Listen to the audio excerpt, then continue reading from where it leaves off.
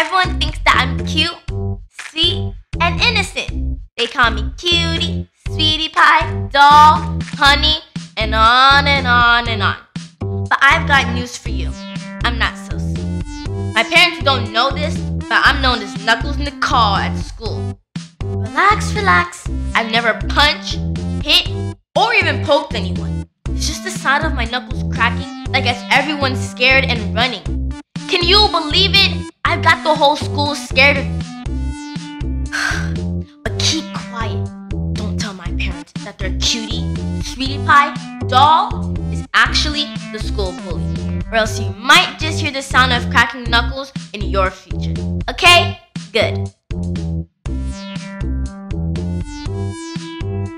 Do I look 20% smaller to you? I must to McDonald's. Every time I order a regular burger at McDonald's, they make it with 20% less meat than Burger King. Unbelievable.